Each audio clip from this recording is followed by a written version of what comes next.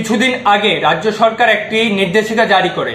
তার মধ্যে ওরা জানিয়ে দেয় যে, পূর্বে নির্ধারিত যে চল্লিশ মার্কের যে পরীক্ষা, সে পরীক্ষা এখন আশি মার্কে নেওয়া হবে। কিন্তু ছাত্ররা আন্দোলন গড়ে তুলে বিভিন্ন খান থেকে এবং আমাদের, আমরাও একটা দাবি তুলি এবং আমরা বিভিন্ন প্রেস রিলিজ, বিভিন্ন ডেপুটেশনের মাধ্যমে আমরা সেই দাবিগুলো সরকারের কাছে উত্থাপনের আমরা চেষ্টা করি। এই উত্থাপনের পরে রাজ্য সরকার একটি সর্ব ছাত্র সংগঠনগুলোকে নিয়ে, সর্বদলীয় একটি বৈঠক ডাকে। বৈঠকের পর সব দল, সব ছাত্র সংগঠন, আমরা একটাই দাবি আমরা উত্থাপন করি। সে উত্থাপনের দাবি হলো যে পরীক্ষা চল্লিশ মার্কেই নিতে হবে।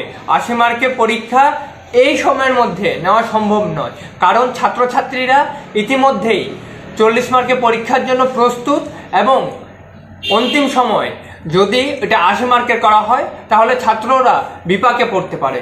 কিন্তু রাজ্যের শিক্ষামন্ত্রী যখন এই সবার সারার পর যখন সাংবাদিকদের মুখোমুখি হয়, উনি মিথ্যাচার, মিথ্যা কথা সাংবাদিকদের সামনে তুলে ধরেন যে ছাত্র সংগঠনগুলো তারা সবাই মিলে সম্মতি দেয় যে এখন চল্লিশ মার্কের হোক, তাহলে ফিউচারে যখন করোনা আসবে, তখন এখন আশি মার্কের হোক সরি অক্ষণ আশি মার্কের হোক, কিন্তু ফিউচারে যখন করোনা আসবে, তখন সেটা চল্লিশ মার্কে নামিয়ে আনা হবে।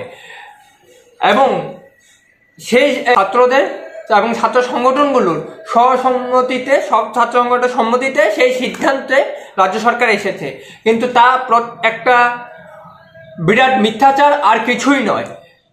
এবং সেই কথা থেকে একটা স্পষ্ট, রাজ্য সরকার একটি ভিত্তিহীন সিদ্ধান্ত নিচ্ছে ছাত্র বিরোধী সিদ্ধান্ত নিচ্ছে, বরাবরই। সে আজকের থেকে না, দুই সালে যখন বিজেপি আইপিএফটি জোট সরকার ত্রিপুরা রাজ্যে ক্ষমতায় আসে, তখন থেকে এখন অবধি পুরোপুরিটাই ছাত্র বিরোধী একটি সিদ্ধান্ত নেয় এবং শিক্ষামন্ত্রী যে যুক্তি উনি দিয়েছেন যে করোনা আসলে সেটা আশি মার্ক থেকে চল্লিশ মার্কে নামিয়ে আনা হবে। শিক্ষামন্ত্রীর কথাটা পুরোপুরি এমন হয়ে গেল যে একটা লোক মরার পরে ওনাকে আইসিইউতে ঢোকানো হবে। একটা লোক মরে গেলে আইসিইউতে ঢোকানোর তো কোনো মানে নেই, আর করোনা এসে গেলে তখন চল্লিশ মার্কের করবে ইতিমধ্যে ছাত্ররা চল্লিশ মার্কের প্রিপারেশন নিয়ে নিয়েছে। আমরা আবারও দাবি জানাচ্ছি আবারও আপনাদের মাধ্যমে আমরা দাবি জানাচ্ছি যে পরীক্ষা চল্লিশ মার্কই নেওয়া হোক, আশি মার্কের যে অযৌক্তিক ছাত্রবিরোধী নীতি, ছাত্রবিরোধী সিদ্ধান্ত রাজ্য সরকার নিচ্ছে এবং তা বাস্তবায়ন করতে চলছে তা ওরা ফিরিয়ে নিক। এবং আমরা আপনাদের মাধ্যমে আমরা ত্রিপুরা ছাত্র সমাজকে আমরা দাবি জানাব, এই ছাত্রবিরোধী এই ছাত্রবিরোধী নীতি, ছাত্রবিরোধী সিদ্ধান্তের বিরুদ্ধে রাজ্যের সব কোণে ছাত্ররা যেমন সংগঠিতভাবে গর্জে উঠে আন্দোলনে রাস্তায় নেমে আসে। শুভদীপ মজুমদার সারা ভারত ছাত্র ফেডারেশন এআইএসএফ এর রাজ্য আহ্বায়ক